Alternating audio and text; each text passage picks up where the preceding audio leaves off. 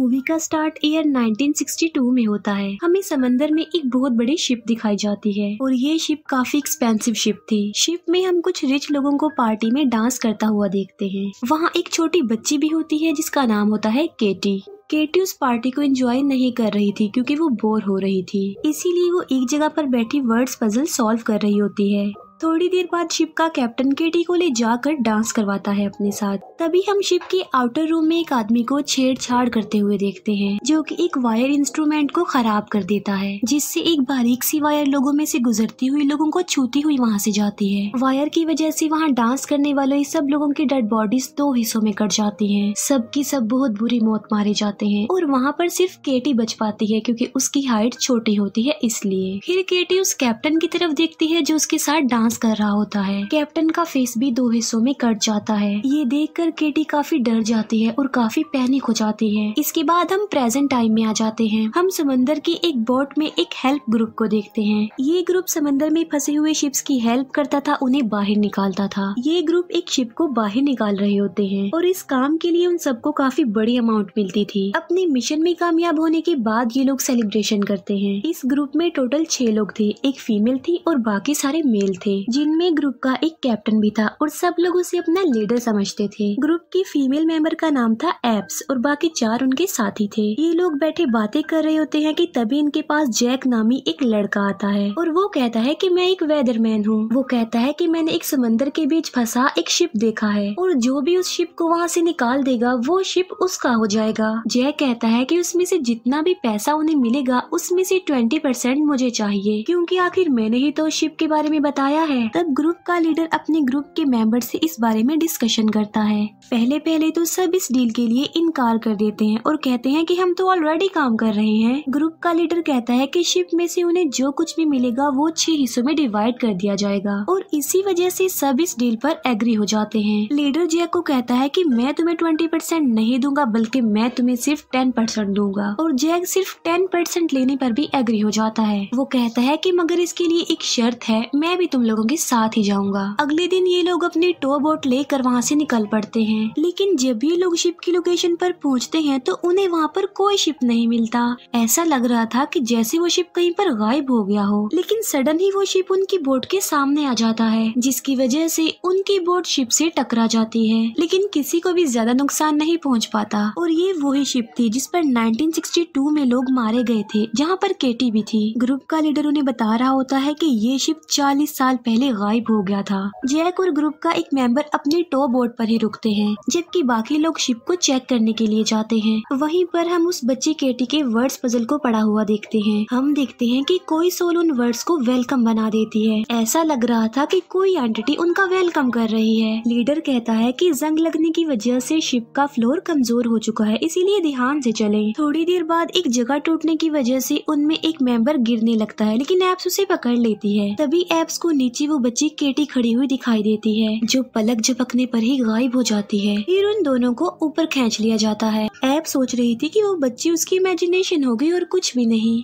उन्हें वहाँ पर एक डिजिटल वॉच भी मिलती है और ये बात काफ़ी स्ट्रेंज थी, क्योंकि जब ये शिप गायब हुई थी, तब डिजिटल वॉच होती ही नहीं थी। ये देखकर लीडर कहता है कि मे भी हमसे पहले यहाँ पर कोई आया हो और ये वॉच उसकी हो। फिर वो कहता है कि हमें कुछ टाइम रेस्ट कर लेना चाहिए। सुबह होते ही हमें शिप को यहाँ से ले जाएँगे। फिर ये सब वापस अपने टॉप बोट में आ जाते हैं। जैक ग्रुप के लीडर से पूछता है कि आखिर ये शिप यहाँ पर आई कैसे होगी? तब लीडर उसे किसी दूसरी शिप की स्टोरी सुनाता है और वो शिप सेकेंड वर्ल्ड वॉर के दौरान समंदर में गई थी। अजीब बात तो ये है कि उस शिप के सारे लोग गायब हो गए थे, मगर वो शिप आज भी किसी समंदर में है और तैर रही है।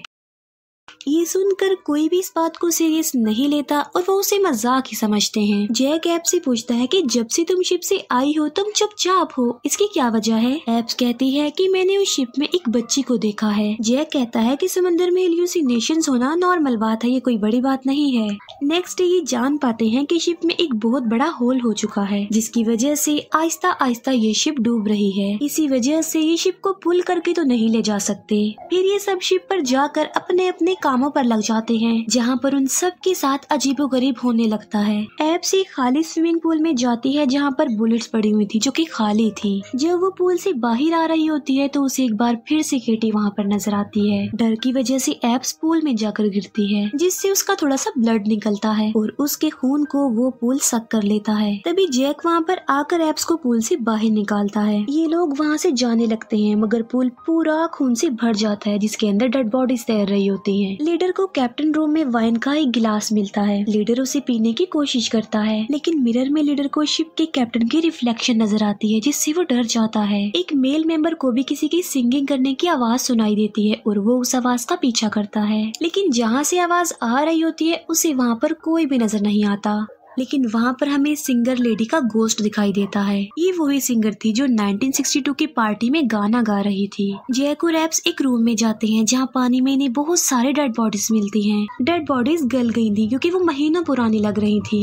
ये दोनों फ़ौरन उस रूम से बाहर आ जाते हैं। एप्स जैक को कहती है कि एक सेकंड के लिए भी हम यहाँ पर अब स्टे नहीं करेंगे। तभी उसकी नज़र वहाँ पर पड़े हुए कुछ बॉक्सेस पर पड़ती है जिसमें सोना ही सोना भरा हुआ था। एप्स अपने बाकी ग्रुप के मेंबर्स को भी वहाँ पर बुला लेती है। वहाँ पर टोटल दस बॉक्सेस थे जो सारे के सारे सोने से भरे हुए थे। इतना सारा खजाना देखकर वो सब खुश हो जाते हैं। एक मेंबर कहता है कि, इस शिप में कुछ ठीक नहीं है। यहाँ पर किसी लेडी के गाने की आवाज़ सुनाई दे रही है। उसे यहाँ पर एक सिगरेट भी मिली थी जो की जली हुई थी। यहाँ पर भी सब लोग उसकी बात को सीरियस नहीं लेते और मज़ाक ही समझते हैं। लीडर कहता है कि, ये सारा सोना लेकर हमें अपनी बोट में वापस जाना चाहिए और यहाँ से निकलना चाहिए। वो कहता है कि, शायद अब मुझे नहीं लगता कि शिप को यहाँ से ले जाने की ज़रूरत है। लेकिन उस शिप की डिमोनिक पावर ये नहीं चाहती थी कि वो लोग यहाँ से चले जाएँ। हम देखते हैं कि उनकी टो बोर्ड की कोई गैस लीक कर रहा है अपने आप। केटी फिर से एप्स को नज़र आकर उसे अलर्ट करती है। लेकिन कोई दूसरी सॉल केटी को वहाँ से ले जाती है। जैसे उनका एक साथी बोट को स्टार्ट करता है, वहाँ पर ब्लास्ट हो जाता है, जिससे उनका एक साथी मारा जाता है। इस इंसिडेंट पे उनके दो साथी इंजर्ड हो जाते हैं। ये लोग यहाँ पर बुरी तरह फंस चुके थे। उस साथी की मौत का रिस्पॉन्सिबल लीडर खुद को समझ रहा था, क्योंकि वही तो उनको यहाँ पर लाने वाला था। एप्स लीडर को कहती है कि मेरे पास एक सोल्यूशन है और वो ये कि शिप को रिपेयर किया जाए और यहाँ से निकला जाए। लेकिन उनका आपस में झगड़ा हो जाता है और वो एक दूसरे से सेपरेट हो जाते हैं। दो साथी खाना ढूँढने किचन में जाते हैं। उन्हें वहाँ पर खाना मिल जाता है और वो उसे खाते हैं। और वो खाना उन्हें बहुत यमी लग रहा होता है। लेकिन फिर वो नोटिस करते हैं कि वो तो कीड़े खा रहे हैं। जब उन्हें ये पता चलता है तो उन्हें वॉमिट होने लगती है। ये कोई आम शिप नहीं थी, बल्कि गोस्ट शिप थी, जिसमें कोई गड़बड़ थी और ये शिप उनके साथ खेल रही थी खिलौने की तरह। लीडर को भी ट्रेन का कैप्टन नज़र आने लगता है। इवन दोनों मिलकर ड्रिंक करते हैं। एप्स केटी को ढूंढते ढूंढते एक रूम में आ जाती है। उनका दूसरा साथी एल्यूसिनेशन की वजह से एक पार्टी में पहुँच जाता है। और पार्टी में जो लड़की उसके साथ डांस कर रही होती है, वो वही फीमेल सिंगर थी, जिसकी आवाज़ वो काफ़ी देर से सुन पा रहा था। एक रूम में एप्स को केटी का स्केल्टन लटका हुआ मिलता है। तभी केटी का भूत भी एप्स के सामने आ जाता है। केटी एप्स को बता रही होती है कि ईयर 1962 में मैं अपने पेरेंट्स के पास जा रही थी, जो अब तो शायद मर चुके होंगे।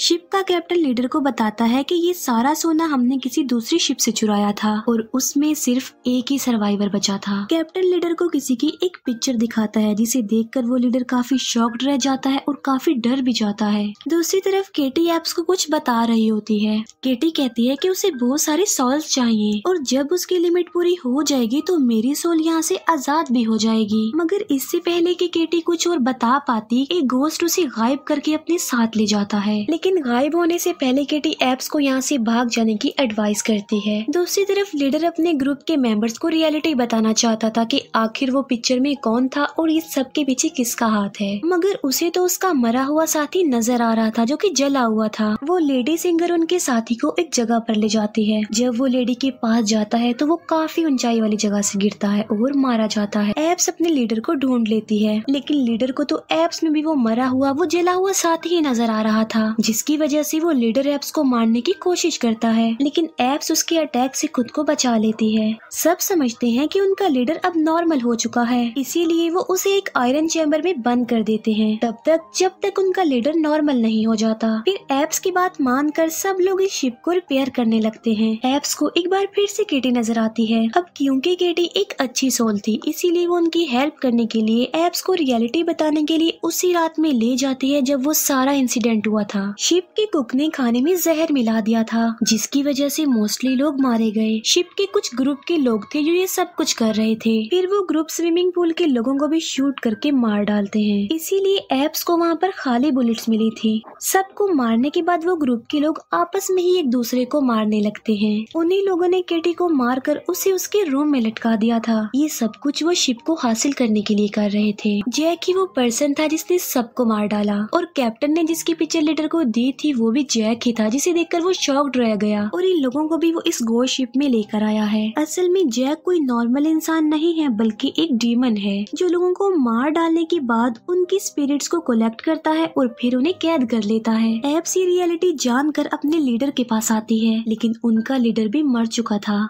क्योंकि जिस चैम्बर में उसे कैद किया गया था, वो पानी से भर गया था। एप्स अपने दूसरे साथी को कुछ बताने लगती है कि तभी वहाँ पर जैक आ जाता है। एप्स ऐसे रिएक्ट करती है कि जैसे वो जैक के बारे में कुछ जानती ही नहीं है, लेकिन वो अपने साथी को केयरफुल रहने को बोलती है। फिर एप्स अपने दूसरे मिसिंग साथी को ढूँढने जाती है, और वो साथी मशीन रूम में फंस गया था, जो की अब पानी से भर चुका था। लेकिन सडन इंजन ऑन हो जाता है, जिसकी वजह से वो साथी कट कर मारा जाता है। जैक को पता चल चुका था कि ये लोग उसकी रियलिटी जान चुके हैं। और वो उसी मेल मेंबर को मारने के लिए आगे बढ़ता है। लेकिन वो मेल मेंबर जैक को ही शूट कर देता है। फिर वो मेल मेंबर वो साथी एप्स के पास आता है और कहता है कि मैंने जैक को मार डाला है। एप्स एक बॉम्ब से पूरे शिप को ब्लास्ट करने वाली होती है। लेकिन वो साथी एप्स को लालच देकर ऐसा करने से मना करता है। वो कहता है कि ब्लास्ट की वजह से हमारा सोना भी डूब जाएगा। लेकिन एप्स उसकी कोई भी बात नहीं मानती। लेकिन ये साथी असल में जैक था जो कि उनके साथी का रूप लेकर वहाँ पर आया था। जैक कहता है कि मैं एक डीमन हूँ और लोगों से गुना करवा के उनकी जान ले लेता हूँ और फिर उनकी सॉल्स को अपने साथ ले जाकर कैद कर देता हूँ। मैं अपने सारे विक्टिम्स के हाथों पर हुक का सिंबल बनाता हूँ, जिससे वो मेरी बात को फॉलो करते हैं और मेरे लोग ही तुम्हारे ग्रुप के लोगों को मार रहे हैं। और मैं अपना मिशन पूरा करने के लिए तुम्हारे ग्रुप को यहाँ पर लाया था, जिससे मेरी सॉल्स की लिमिट पूरी हो जाएगी। लेकिन अगर ये शिप डिस्ट्रॉय हो गई तो वो सारी सॉल्स आज़ाद हो जाएँगे। और मैं नहीं चाहता कि ऐसा कुछ हो। वो एप्स को एक चांस देता है कि मैं तुम्हें छोड़ दूँगा और नहीं मारूँगा, अगर तुम शिप को डिस्ट्रॉय नहीं करोगी। लेकिन एप्स उसकी बात नहीं मानती, इसी वजह से जैक उस पर अटैक कर देता है। लेकिन एप्स एक गन से बॉम्ब के ट्रिगर को दबाने में कामयाब हो जाती है, जिससे वहाँ पर काफ़ी बड़ा ब्लास्ट हो जाता है। शिप में ब्लास्ट होने की वजह से वो डूबने लगती है। केटी वहाँ से निकलने में एप्स की हेल्प करती है। एप्स उस शिप से आज़ाद होती हुई सॉल्स को देख रही होती है। फिर केटी एप्स को थैंक्स बोलती है और हेवन यानी जन्नत में चली जाती है। एप्स को एक दूसरी शिप के लोग देख लेते हैं जो उसे रेस्क्यू करते हैं। एप्स तभी वहाँ पर जैक को देखती है जो दूसरी शिप को डिस्ट्रॉय करने के लिए आगे बढ़ रहा होता है। वो उस शिप में सोना भी लेकर जा रहा था ताकि लालच में लोग एक दूसरे को मार डाले। एप्स जैक को देखकर चिल्लाती है और उसकी चीख के साथ ही मूवी यहीं पर एंड हो जाती है। और अब मैं एक्सप्लेन करूँगी the slit mouth women school में तीन स्टूडेंट्स को दिखाते हुए मूवी स्टार्ट होती है। ये स्टूडेंट स्लिट माउथ वुमेन के बारे में बातें कर रहे होते हैं, जिसका नाम होता है ओना ये स्टूडेंट्स अभी बातें कर रही होती है की तभी उनकी टीचर वहाँ पर आ जाती है और टीचर का नाम होता है कोयोकू और टीचर उन्हें अपने घर जाने को बोलती है। सभी स्टूडेंट्स वहाँ से जाने लगती हैं, लेकिन तभी वहाँ पर काफ़ी बड़ा अर्थ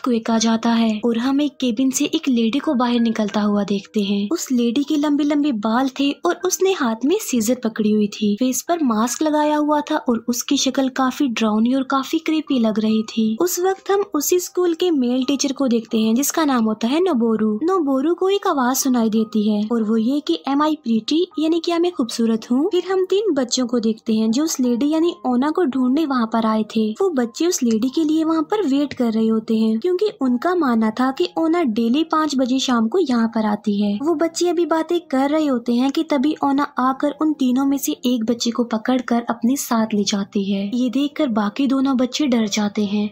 उस बच्चे के मिसिंग होने की वजह से स्कूल में ये डिसाइड किया जाता है कि सब स्टूडेंट्स का ग्रुप बनाकर उन्हें उनके घर पर ड्रॉप किया जाएगा। और ये रिस्पॉन्सिबिलिटी टीचर कुयोकू और नोबोरू की ही लगाई जाती है। एक फीमेल स्टूडेंट माइका घर जाना नहीं चाहती थी। कोयोकू जब उसके घर ना जाने का रीजन पूछती है तो बच्ची कहती है कि मेरी मदर मुझे रोज टॉर्चर करती है और मेरी मदर अच्छी नहीं है, बल्कि वो बुरी है। इस बात पर टीचर कोयोकू उस पर काफ़ी गुस्सा करती है, जिसकी वजह से माइका वहाँ से भाग जाती है, जिस पर कोयोकू सोचती है कि मुझे उस पर गुस्सा नहीं करना चाहिए था। इसीलिए कोयोकू भी माइका के पीछे भागती है, लेकिन तभी वहाँ पर ओना आकर माइका को पकड़ लेती है। खुद को बचाने के लिए माइका उसके फेस से मास्क रिमूव कर देती है। कोयोकू जब ओना का फेस देखती है तो वो डर जाती है। ओना जब माइका को पकड़ लेती है, तब मेल टीचर नबोरू को फिर से वो साउंड सुनाई देता है। यानी एम आई प्रीटी आवाज़ को फॉलो करते हुए नबोरू एक जगह पर पहुँचते हैं, जहाँ कोयोको बैठी होती है और डरी और सहमी होती है। कोयोको पुलिस को इन्फॉर्म करती है की ओना ही है वो जो सब बच्चों को गायब कर रही है। फिर हम स्कूल में देखते हैं की कोयोको और नबोरू को एक पिक्चर मिलती है, और जो लड़की उस पिक्चर में थी वो सेम ओना जैसे ही लग रही थी। नबोरू कहता है की ये पिक तीस साल पुरानी है, और एक बार फिर से उसे वही आवाज़ सुनाई देती है। एम आई प्रीटी नबोरू और कोयोको आवाज़ को फॉलो करते करते एक घर तक पहुँच जाते हैं और वो दोनों घर के अंदर चले जाते हैं। अंदर जाकर वो देखते हैं कि एक लड़के को ओना ने पकड़ रखा है। ओना उस लड़के को मारने ही वाली होती है कि ये दोनों उसकी जान बचाते हैं। कोयोको ओना को चाकू से स्टैब करती है और उसे मार डालती है। वो देखते हैं कि जिसे कोयोको ने मारा है, वो ओना नहीं है, बल्कि उस बच्चे की मदर है। जिस बच्चे की जान उन्होंने अभी अभी बचाई थी और बच्चे की मदर को ओना ने पोजेस कर लिया था। असल में ओना मरी ही नहीं थी, ज़िंदा थी और वो आज़ाद हो जाती है। ओना जब किसी को भी पोजेस करती थी, तब उसे तेज़ी से खांसी होने लगती थी। इसके बाद नोबोरू कोयोको को एक बड़ा राज बताता है। वो कहता है कि ओना असल में मेरी मदर है, जो तीस साल पहले मर चुकी है। फिर हमें तीस साल पहले का सीन दिखाया जाता है, जहाँ पर नोबोरो की मदर ओना बीमार थी, जिसे बहुत ज़्यादा कफ थी और वो हर वक्त खांसते ही रहती थी। इसके साथ साथ वो मेंटली डिसेबल भी थी। मेंटल बैलेंस इतना ज़्यादा खराब था कि वो अपने गुस्से पर कंट्रोल भी नहीं कर सकती थी। इसी वजह से वो अपने तीनों बच्चों को टॉर्चर करती है और इसी वजह से उनमें दो बच्चों की डेथ हो जाती है और सिर्फ़ नोबोरो ही ज़िंदा बच पाता है। उनकी मदर ओना नोबोरो को भी नाइफ से मारने के लिए आगे बढ़ती है। लेकिन तभी सडन उसकी मदर रिलैक्स हो जाती है। वो नोबोरो को कहती है कि इस नाइफ से तुम मुझे मार डालो, वरना मैं तुम्हें मार डालूँगी। लेकिन नोबोरो ऐसा करने से साफ़ इनकार कर देता है और रोने लगता है कि मेरी मदर कैसी बातें कर रही है। ओना कहती है कि इस चाकू से मेरे गले पर वार करो। लेकिन एक बार फिर से नोबोरो इनकार कर देता है, जिसकी वजह से ओना को और भी ज़्यादा गुस्सा आने लगता है और वो नोबोरो को मारने के लिए आगे बढ़ती है और इस बार सच में नोबोरो नाइफ से अटैक कर देता है। जिससे उसकी मदर का फेस कट जाता है। प्रेजेंट में हम देखते हैं कि नोबोरू को फिर से वही आवाज़ सुनाई देती है और ओना ने एक बच्चे की मदर को पोजेस भी कर लिया था। और जिन तीन बच्चों में से ओना एक को किडनैप करके लाई थी, वो उससे भी बड़ी बेरहमी से मार डालती है। वहीं पर हम देखते हैं कि उसने माइका को भी बांधा हुआ था और अगली बारी माइका की ही थी। कोयोकू और नोबोरू एक घर पर जाते हैं, जिसकी छत रेड कलर की थी और ये ओना का घर था। नोबोरू को वहाँ जाकर याद आता है कि ये हमारा तीस साल पुराना घर है। और यहीं पर उसने अपनी मदर की डेड बॉडी को छुपाया था। वहाँ जाकर नोबोरू को याद आता है कि उसकी मदर ने उन्हें गले पर स्टैब करने को बोला था। लेकिन नोबोरू ने ऐसा नहीं किया और उसके फेस को कट कर दिया और उसे स्लिट माउथ वुमेन बना दिया। इसी वजह से वो इस सब का बदला ले रही है। दोनों टीचर्स नोबोरू और कोयोकू माइका को बेसमेंट से ढूंढ लेते हैं। वो वहाँ से वापिस आने लगते हैं कि तभी ओना अपने बेटे नोबोरू पर अटैक कर देती है। इसके बाद वो माइका की तरफ़ आगे बढ़ती है। कोयोकू एक बार फिर से उसके गले पर ही स्टैब करती है। वो लोग ये समझ रहे थे कि ओना मर चुकी है। तभी वहाँ पर माइका की मदर आ जाती है, जो कि अपनी बेटी को ढूँढने वहाँ पर आई थी और ओना उसे भी पोजेस कर लेती है। और ऐसा नेक पर वार करने की वजह से हुआ था। ओना तभी मर सकती है जब उसका अपना बेटा नबोरू उसे जान से मार डाले। माइका की पोजेस्ड मदर अपनी बेटी माइका को मारने के लिए आगे बढ़ती है। तभी पीछे से नबोरू उस पर अटैक कर देता है और इस बार वो उसका गला काट देता है। इस सब के दौरान नबोरू भी काफ़ी इंजर्ड हो जाता है। वो कयोकू और माइका को बाहर जाने के लिए बोलता है और वो दोनों बाहर आ जाती हैं, सही सलामत। फिर वहाँ पर काफ़ी तेज अर्थ आता है, जिसकी वजह से वो घर डिस्ट्रॉय हो जाता है। कुछ दिन बाद हम देखते हैं कि कोयोकू अपनी बेटी से मिलने जाती है और वो अपनी बेटी को सॉरी बोलती है, क्योंकि कोयोकू भी अपनी बेटी को टॉर्चर किया करती थी। दोनों माँ बेटी एक दूसरे के गले मिलते हैं। कोयोकू को खांसी होने लगती है, क्योंकि ओना उसे भी पोजेस्ट कर चुकी थी। और इसी के साथ ही ये मूवी यहीं पर एंड हो जाती है। Thank you for watching